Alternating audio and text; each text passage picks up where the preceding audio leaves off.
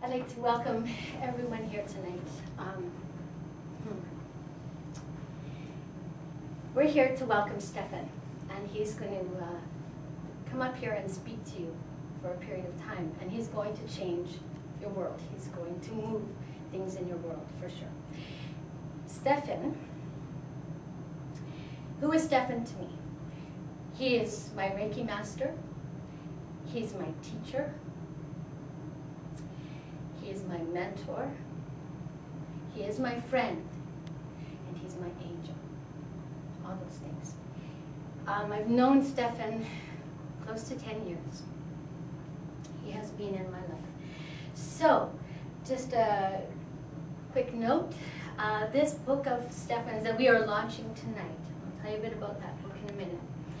When I met Stefan years and years ago, he had sort of figured out his dharma, his calling, what he was meant to create here for humankind. He was on about, um, on some level, sharing with people an idea of it, what it is to be a human being in this creation. And we started about, to learn about metaphysics. Now, the people I was with, there were three other women and myself. We all loved Reiki. We loved to put our hands on people and help, and but we didn't have a lot of clear ideas as to even why things occurred. We just simply wanted to offer up our hands and help out.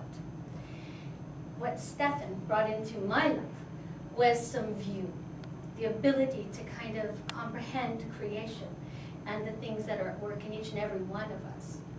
And um, we embarked on a journey. And Stefan would teach us. We'd get together, and it would minimum would start off with the idea that we'd be there for three hours, but six hours later, we'd be having a lot of coffee so we could drive home.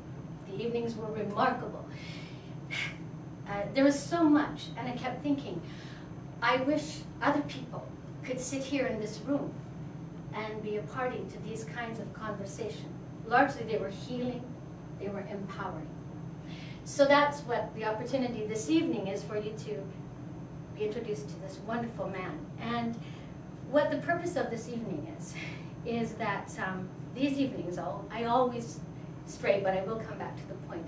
These evenings were the seeds, if you will, for what became Stefan's books, because he knew that to get the information out, he had to publish, he had to get these ideas to people, to share these incredible ideas.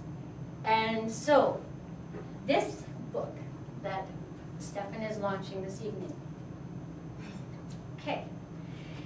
Introduction to Metaphysics. When I met Stefan, I wasn't even sure what metaphysics meant. So there you go. We'll look at that tonight. Introduction to Metaphysics. Who or what am I? Energy as universal construction medium. Lots of words there. Tonight, you'll have a window into what all this means. It's just going to be an opening, if you will. Many of you have purchased the book, and we'll talk a little bit further.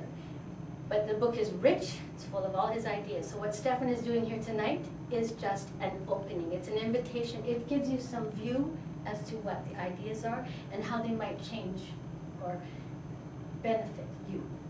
So without any further ado, I would like to introduce Stefan Tsirikos. He's my dear friend.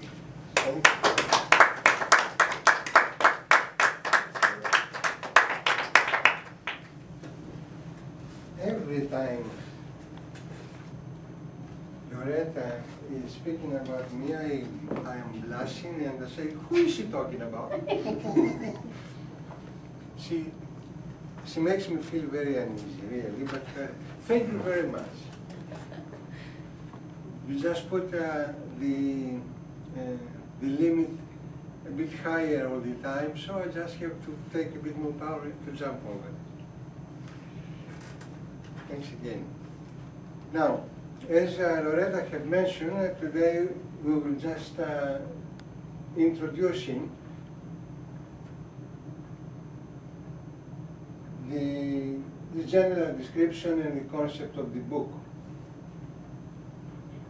It will be an omission to start uh, talking about anything substantial though, without first uh, uh, sincerely thanking very much Linda and uh, Paul Henderson, who are the lead uh, um, professors and uh, the owners of this establishment, who were so kind to invite me here and give to all of us the opportunity to exchange some ideas. Thank you. Now, we are to, talk about a concept known as Introduction to Metaphysics. What is metaphysics? What is that uh, body of knowledge that it requires introduction? Of course, everything uh, requires introduction, but particularly metaphysics demands introduction because it is something that relates to a, a content or a subject, if you wish, that it is beyond our physical capability to understand it, to measure it, to describe it. It is beyond the capability of our senses, period. So in that sense, even with the wildest imagination, we can only give an introduction, no more than that. And yet this introduction is voluminous. I have uh, opted into presenting the, my introduction in five books. And here we have only the very first one. The title of the book, Who or What Am I? with uh, the subtitle of uh, Energy as Universal Construction Medium is very indicative of that.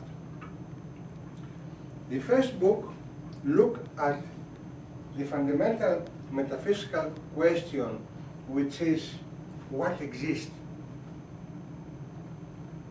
What exists?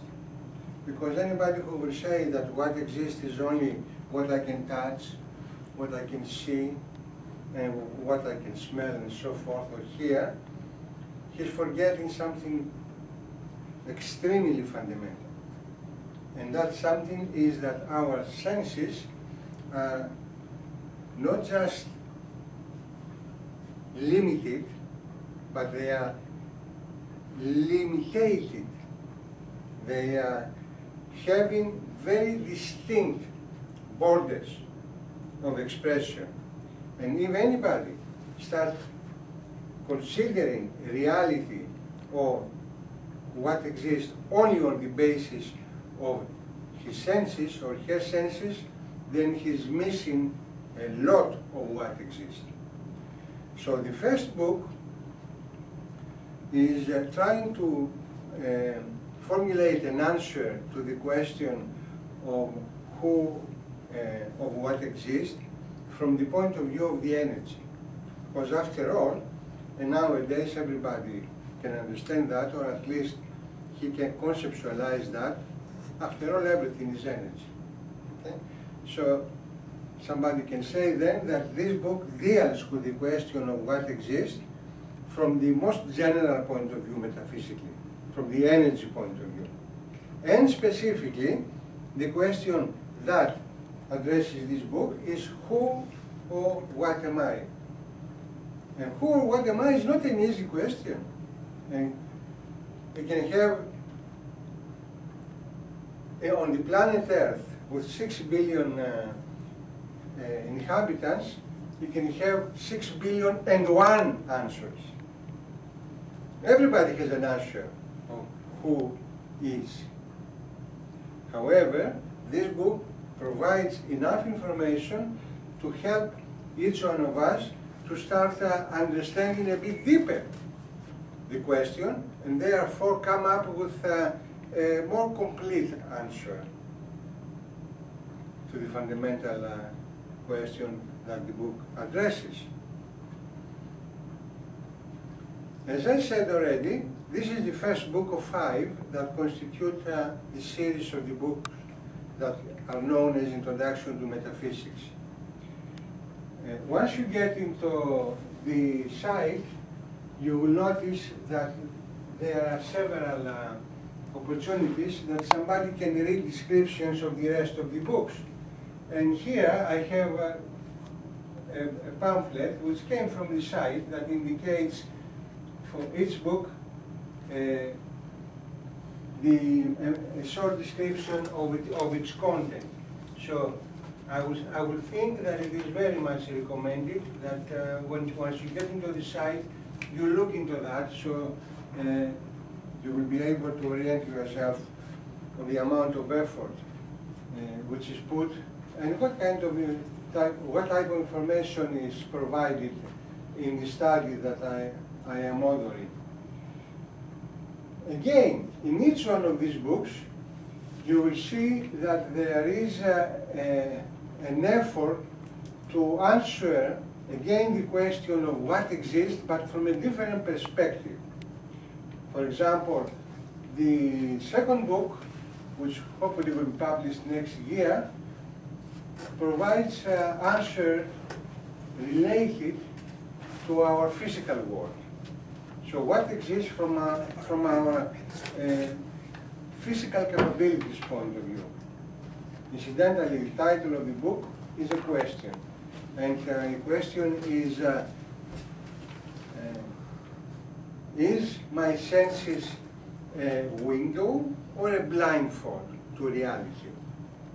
And opens up a, a great discussion in which uh, somebody can understand what I already said, the limiting factor of, uh, of our senses, and therefore he is uh, convinced gradually that the only way to gain more knowledge of what really exists will be through other means, to go beyond the senses, to start using some of the enormous cognitive power that we have and we do not even consider it, we take it for granted. So the second book deals with the physical side. The third book deals with the emotions. And I will get uh, soon enough uh, uh, on this particular topic, but just uh, to complete uh, my paragraph here, the third book deals with emotions. The fourth book deals with the cognitive power, with thinking. And the fifth book deals with the question of what exists from the spiritual point of view. That way, I am supplying enough information for, for somebody to be able to see the creation uh, in a very structured, but nevertheless thorough manner that covers all our capabilities. Okay? And what are our capabilities? Our capabilities can be shown if we simply try to model our existence in a specific way. And this is what this model is all about. I call it the four existential body model. It's an existential model. It gives an answer to what am I, not only for a human, but for any creation. Any creation. And this takes a lot of work to be able to, to reach there, because when I say any creation, I don't mean only a human or another animal or a plant or, if you wish, some kind of mineral, but I go as, as down, if you wish, as minutely possible to a specific uh, atom or a particle of an atom. So each one of these creations have actually the same configuration. It is composed of existentially from four different bodies. It has four different energetic instances. But all of them are in full cooperation and nothing can happen without all four of them being in agreement. However, this is not the time to deal about a subatomic particle. What we should do is talk about what I, what I mentioned in the book, uh, the sample of one, which is uh, for us humans, the fact that uh, we are witnesses of ourselves. And on the basis of um, the sample of one that we are most familiar with, which is the human body, ourselves, then we can start uh, expanding our understanding and it is to the point of debating at this stage this, uh, similar ideas uh, applying in every creation. So, before existential body model we'll be talking today, we'll be talking about human, simply because human is the one that we are most familiar with. And uh, this model basically has the fundamental assumption that everything is energy. Starts λοιπόν with uh, the proposal that uh, this uh, poster represents all possible energy. Now the energy is um, it's something that everybody talks about, but very few people can really grasp it. And even less people can define. So what is energy? I'm going to get into philosophy and I try to avoid that. So keep in mind that uh, independently of uh, what people say, particularly people who are trying to find uh, something measurable that they can uh, uh, uh, attend and do experimentation with so that they will prove its capability, whatever these people are trying to do, the most important thing to understand is that energy is something capable to do work. For some reason, this thing is able to transform itself, work, and start creating things that they somehow are coming out of nowhere. It's magic. So I, I, will, I just st stop at this point because just to explain the energy, to give you an idea of really of what it's all about, we have to, to, to go to a very abstract level. Nevertheless, it's obvious to say uh, for this presentation that energy is something that's capable to do work. Capable, capable to go through transformations. There are conditions Fine, but not the time to talk about that. To be able to, to measure qualitatively this substance known as energy, we have to use a couple of parameters which are fundamental. Uh, these parameters are essential because that's the only way that we can communicate. So when you talk about energy, you talk about frequency. Because frequency will be the fundamental parameter that shows the changing of this capability. And if you start talking about frequency, you have to consider the physical parameter of energy density, which shows really how much substance of the energy, not quality, substance, volume, exists at a particular point. Now,